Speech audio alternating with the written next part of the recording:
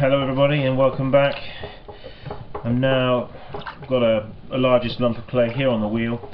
You can't actually see it in the picture because I'm having to film close and I can't get it all in to show you but I've got a reasonable sized lump of clay on the wheel here and I'm going to throw these pestles off the off this lump of clay so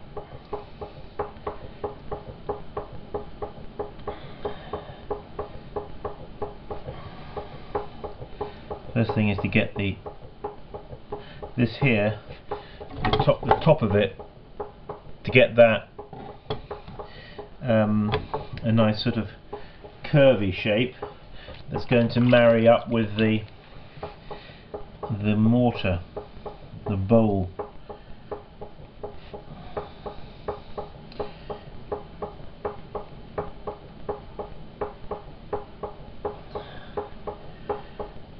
not not the easiest of things to throw I don't find well because they're sort of long and thin like this and they can tend to have a, a mind of their own somehow. This was slightly thinner in the middle section here and a little bit fatter at the ends so I've got a marker uh, a length marker here. Okay.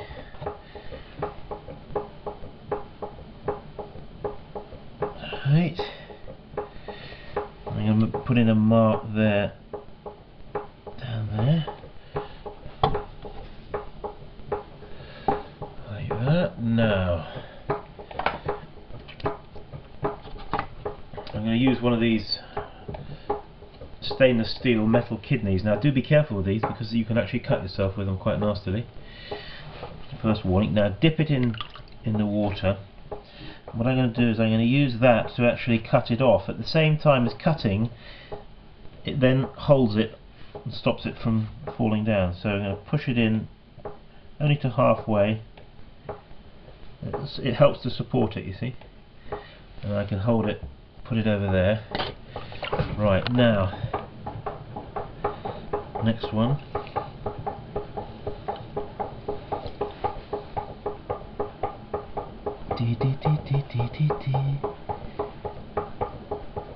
Hmm. Just by the way, just make sure that these are thoroughly dried out before you fire them because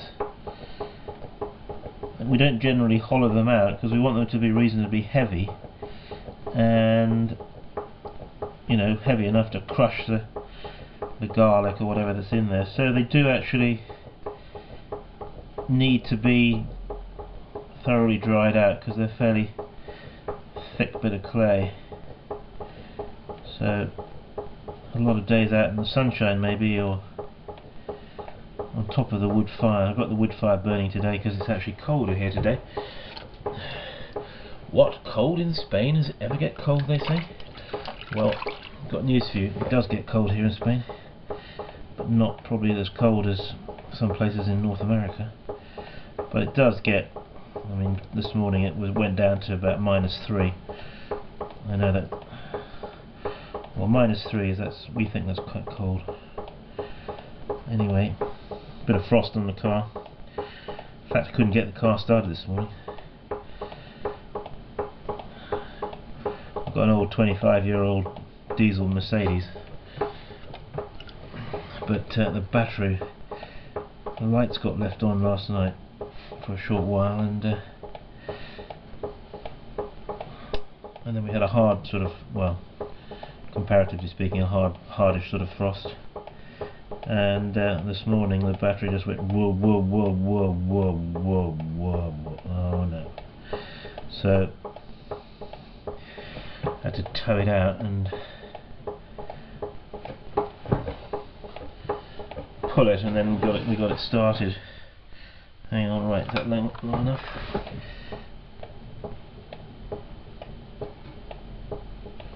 I just do that, put that in a little mark there, it just helps to and then just holding it with my left hand and then just putting this in just to halfway like that you see I got it there alright now these